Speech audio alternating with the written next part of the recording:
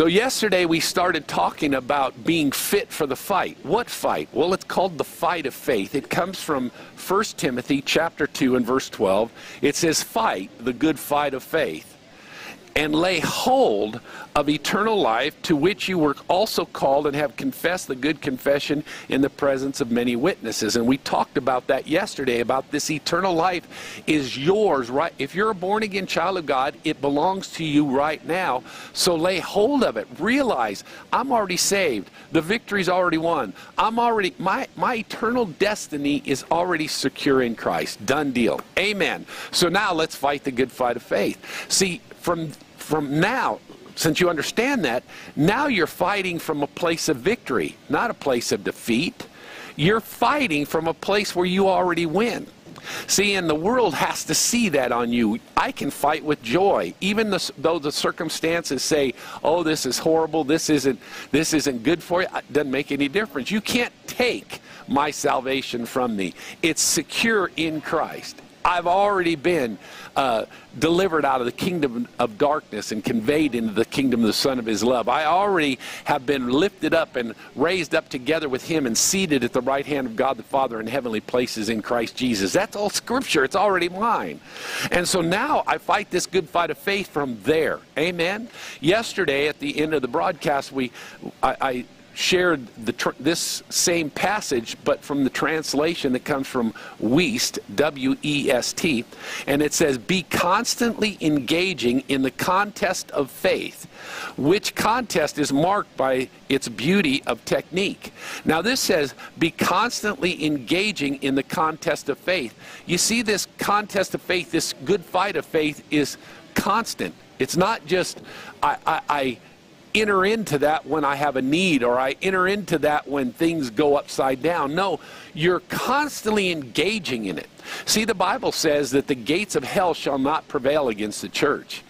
See, the church should recognize we are in a battle full time, all the time, not just when things go bad for you, but there's people around you that you can.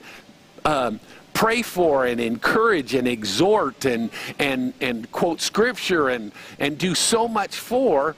So when, when everything's going good for you, you're still engaged in the battle because you have friends that are, are maybe dying and going to hell. And so we need to realize every moment of every day we're engaged in this fight constantly fighting this good fight of faith. We've already laid hold of eternal life, but there's others around us that haven't. So we need to engage, constantly be engaged in this fight. Amen. And then it says, um, which contest is marked by its beauty of technique. So there's a technique that comes with this fight. Well, number one, I've already stated it. Fight from a position of victory. You don't if you already know you have the victory, then you enter the fight already knowing I already won. So it's a completely different attitude. The, the enemy can be staring you in the face saying you're defeated and saying, oh, look at you, miserable worm, and everything else. And you just smile back and say, that ain't me. The Bible says I'm the righteousness of God in Christ Jesus. The Bible said I'm more than a conqueror. The Bible says I'm a world overcomer. The Bible says, Satan, you're defeated. And so all I'm doing is holding on, laying hold of, hanging on to my eternal salvation that comes from Jesus Christ my Lord. I'm a winner every time. Amen and amen. So again, let's talk about this technique just a little bit. Go with me to 1 Corinthians chapter 9 and verse 24. 1 Corinthians chapter 9 and verse 24. It says this as soon as I get there. I love this new Bible my wife bought me, but sometimes it takes me a little while to get places here. It says, Do you not know that those who run the race, uh, I'm sorry, that run in the race, all run, but one receives the prize? Run in such a way that you may obtain it. So you know this this run of, of life all of us are engaged. Look around you. Everybody is running the run of life. But why in the world are you running it?